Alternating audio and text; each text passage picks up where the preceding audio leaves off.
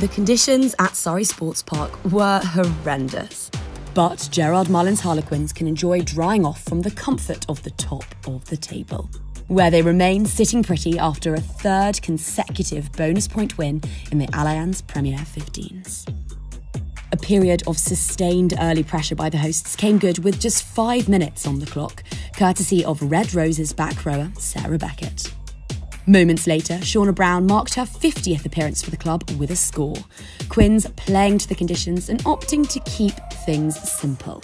Their forwards dominating collisions and magicking up turnovers almost as relentless as the rain.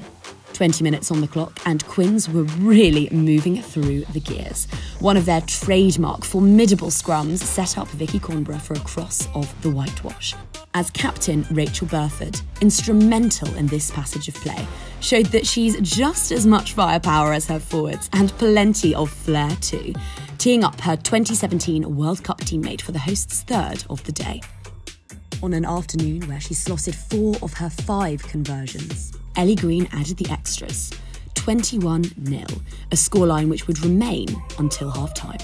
The weather started to ease up, but Quins certainly had no plans to, and some fine handling off the back of a lineout saw Heather Cal free up Lagi Tuima. 36 minutes played, and the bonus point in the bag.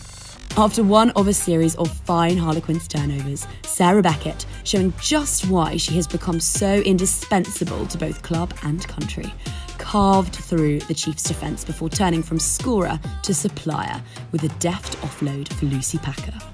The scrum half slid in beneath the posts, and Green converted again.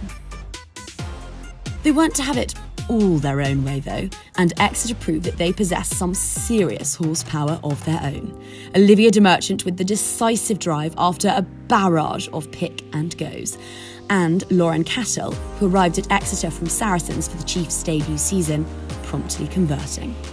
The Chiefs were playing with far greater urgency now, and it felt a matter of when, not if, they converted possession into points. With just minutes left on the clock, and after already being held up once over the line, their efforts were rewarded, and Susie Appleby's side bludgeoned their way to a second score from replacement and debutant Kaylee Armstrong. The final score top of the table Harlequins 33, eighth placed Exeter, still in search of their first win in this league, 14.